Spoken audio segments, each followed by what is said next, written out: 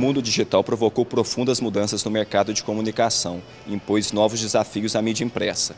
Mesmo assim, o papel mostra sua força e mantém a circulação em alta. Com este pano de fundo, o quinto Fórum ANE de Revistas debateu o tema O melhor dos tempos, o pior dos tempos, você faz a diferença. O que quer dizer esse título é o seguinte, se você aproveitar a onda, né, como bem mensagem está fazendo aqui, fazendo também televisão, você vai se dar bem. O que não pode é ficar achando que só tinta em cima de papel vai resolver a questão. Os inúmeros exemplos que se mostraram hoje são de que o casamento aconteceu, ninguém mais fala em parou o papel uh, e fica tudo no digital. Ninguém fala mais nisso.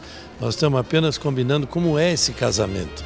Apesar das experiências dos editores de revista nas plataformas digitais, o crescimento de circulação impressa ainda é uma tendência. A gente uh, constatou um crescimento de 5,1% que é um crescimento excelente, tanto em termos de mercado nacional, uh, mas mais ainda quando a gente compara com o resto do mundo, onde se observa uh, o decréscimo de circulação. Né? Uh, por que, que isso acontece? Porque em outros países, especialmente mais desenvolvidos, o hábito de leitura já está muito mais desenvolvido, enquanto que aqui no Brasil isso está acontecendo nesse momento, né, nos últimos 10, 15 anos. O crescimento, esse crescimento deve continuar, tanto na base de impressos, mas também ele deve começar a, a tomar esse viés mais de uh, digital também daqui para frente.